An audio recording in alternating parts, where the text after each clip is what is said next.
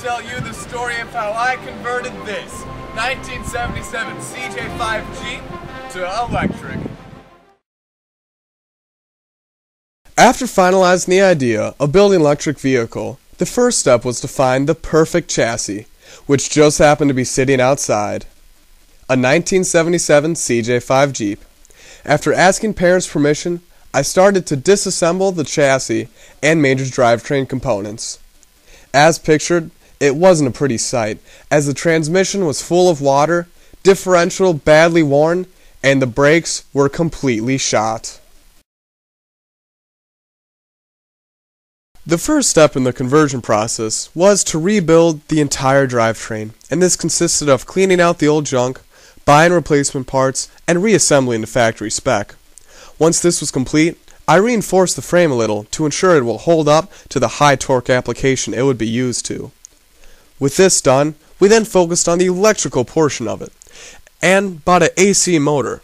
The reason we went with AC was due to regenerative braking, which means every time you slow your vehicle down, it actually puts energy back into the vehicle.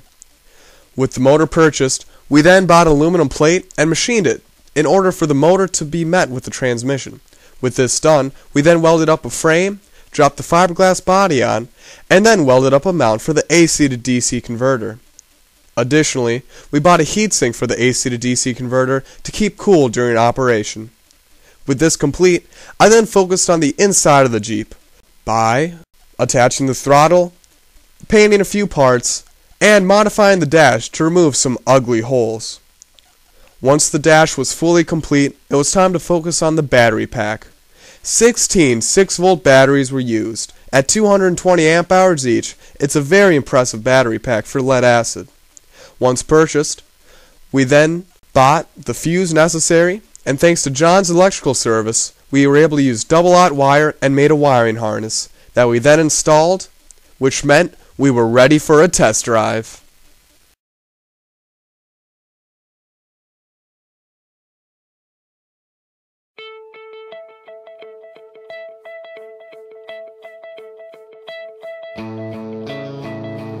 Well, folks, that's the story of my electric Jeep conversion. Hope to see you soon.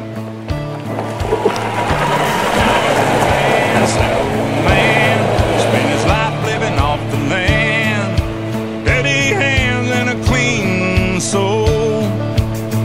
It breaks his heart seeing foreign cars filled with fuel. It isn't ours.